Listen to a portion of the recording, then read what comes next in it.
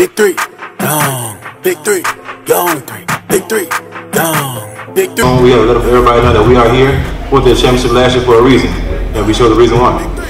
The hammer.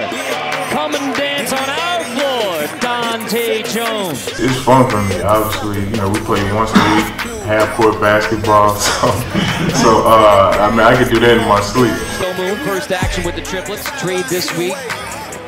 McDonald's trip chose easiest to his sixth. You know, I told our guys that this is a must win for us. You know, and for us to stay in the hunt for the playoffs, because that's what it's all about.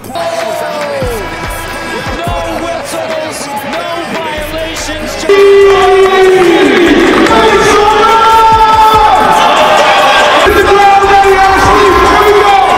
Y'all can just get in line. Big three and a young three.